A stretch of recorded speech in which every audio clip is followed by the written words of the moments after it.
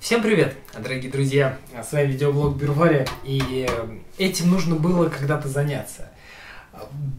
Обзор бочки.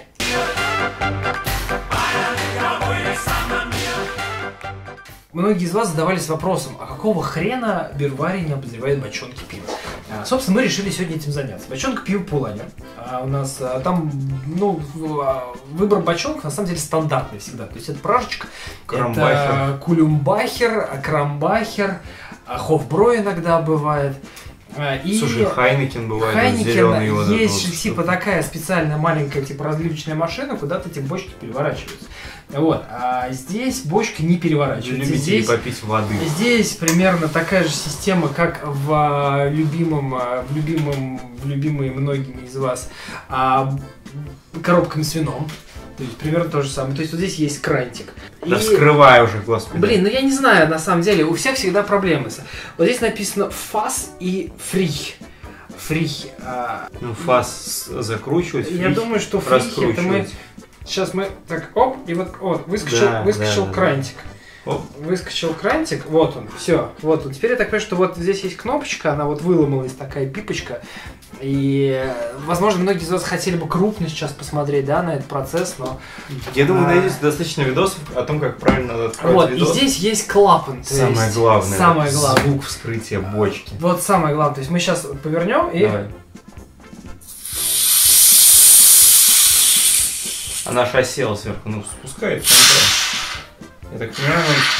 Я думаю, что надо. Нет, я думаю, что. А я думаю, что наоборот не надо много спускать. Я думаю, что нужно немножко приоткрыть, пустить туда воздух. Наверху есть на самом и... деле инструкция, но мы, но мы, мы залили, залили пивом. пивом. Да. А потом делается опять же, как с коробками с вином. То есть сдвигается на край и начинает наливаться, а, начинает наливаться пиво. Стравил. Но не типа... зря это пиво называют белым, как видите, господа. А, но как бы вспоминаем мемесы, типа, когда попросил девушку налить пиво, и что ж ты наливаешь-то как пидор, и а, прочие мимосы. Но а, вот мы обычно оцениваем пену. Вот да? Давай оценим пену. То есть пена, по-моему, э, весьма себе, весьма себе крупная. Надо нести ложку. На самом деле, я думаю, что он уже постоял. И... Нет, все равно. Вот самое главное, дорогие друзья, чтобы вот у вас не было. Жень, давай звук. Ну, это как, как говорится. Два. Вот самое главное, чтобы с пшеничного пива у вас потом вот точно так же не было. Да, тут главное как. Сначала вы открываете один клапан, наливаете себе пиво, а потом после всей бочки может открыться второй клапан. Главное, чтобы не одновременно. Не в процессе. А да, а не в процессе. Не, друзья могут не понять, потому что... Или главное не перепутать, потому что вы... Главное стравить правильный клапан, чтобы выпустить воздух. И звук... Откры... Ослабляя внимание на одном клапане, никогда не забывайте про другой. Да. И звук, звук здесь ничего вам не подскажет. Когда не рад звуку открытия клапана. Да кто же это делает? Преждевременное открытие типа, клапана. А, вот этот просто звук, вот этот вот, он означает, что клапан открыт и вечеринка начинается. Открытие другого клапана означает, что вечеринка закончилась, как минимум для обладателя этого клапана. О, пена сошла, можно почитать инструкцию. Danach den Zapfhahn bis den Anschlag, Herzen Ulzahn. Zoom Zapfen Rotten. Мне кажется, это сценарий какого-то фильма. Сейчас наверняка придут люди, которые умеют открывать бочки лучше нас, обязательно напишут, что, э, что мы делаем не так. Но мы, наверное, наша эйфория от открывания бочки и вообще от распития бочки, она сейчас немножко поугасла, мы сейчас к более практичным каким-то да, знаниям, пиво наверное, вкусное. перейдем к аналитике. Пиво вкусное, пиво прекрасное. А, у нас заготовлена баночка Hefeweizen Пулавер более классическая. Эти которая... банки-то мы умеем открывать. Вот, эти банки-то мы умеем открывать. Со школы, можно сказать. Знания, впитанные с молоком матери.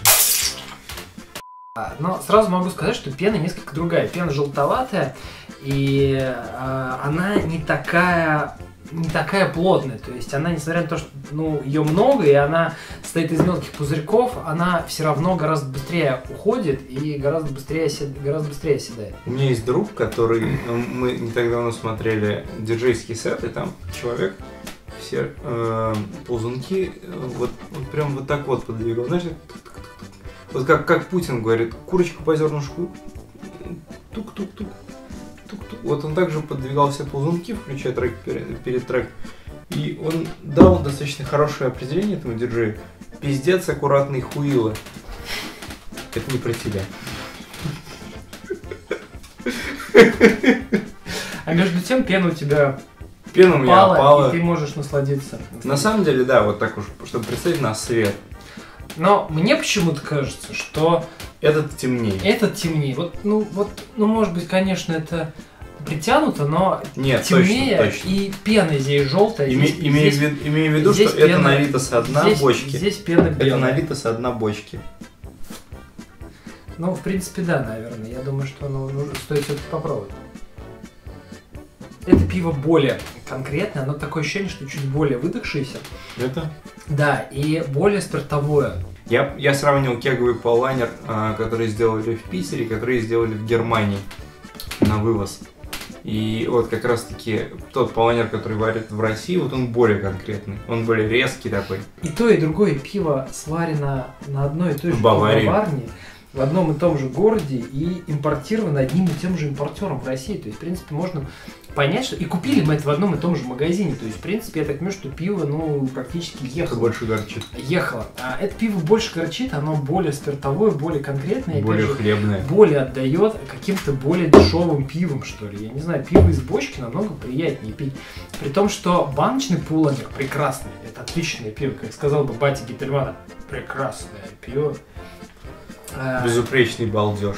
Безупречный балдеж, абсолютно. И э, я так думаю, что дело все-таки именно в том, что пятилитровом бочонке дрожжам и вообще пивасу веселее вместе с другими, с другими дрожжами и большим количеством пивас. Я не знаю, может быть, все-таки дело в более более плотном металле. Возможно, дело в том, что этих приезжает намного меньше, и я не верю, что туда закатывается разное пиво. Я думаю, что все-таки.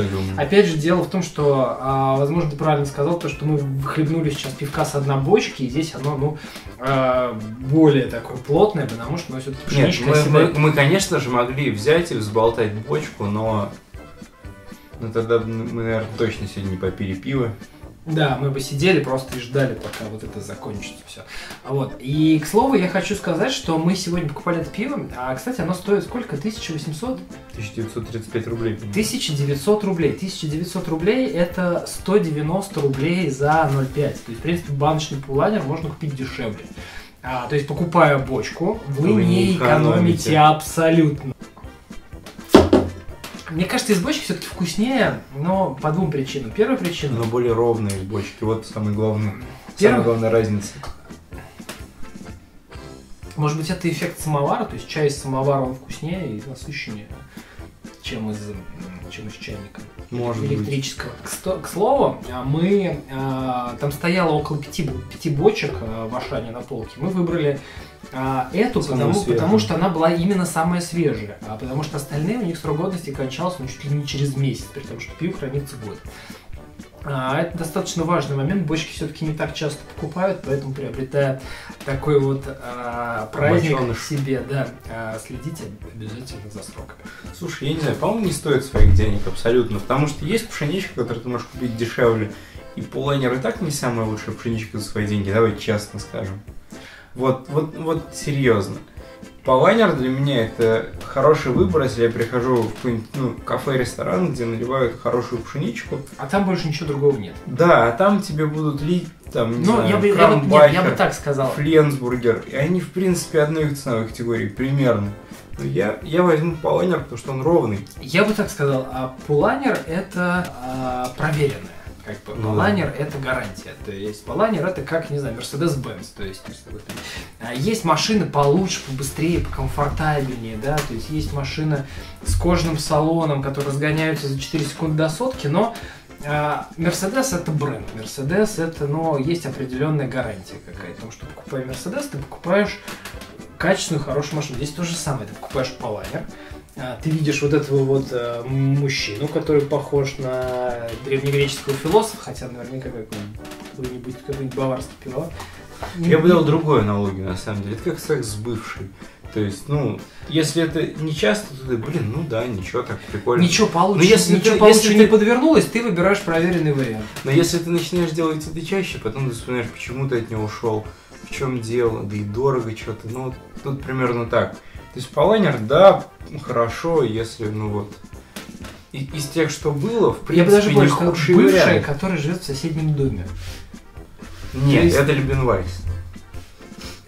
Это Балтика тройка. Нет, это, Это это Балтика- Лебенвайс. это Это Балтика тройка. бывший, да. который живет, и Ойтингер, это та, которая живет в твоем подъезде. Ты просто в центре живешь. А, Да, нет, ну, а если ты живешь на окраине, то То Балтика. есть, если, если давать сравнение пива как бывшим, то есть да, вот, но при этом, при этом ты иногда можешь, вы иногда, ну, выходите в один и тот же супермаркет, тут ты идешь, пересекаешься с ней взглядом и видишь, что в принципе по акции, и, ну, Чё бы и нет. да, чё бы и нет. Да и ты сейчас не в отношениях. Лебенвайс 174, а ты смотришь, а 130, и ты уже такой, ну да, в принципе, сегодня свободный вечер. С другой стороны, на тебя посматривает Ойтингер, а их уже будет две. А ты думаешь, ну, сегодня все-таки среда, может, все-таки время для, для есть пиво это всегда, всегда нравственная дилемма, помимо именно ну, материальной. Две или одна, три или Можно пять. вообще совсем мало заплатить и получить, не знаю, бокальчик э, бакбира. А иногда тебя может угостить друг.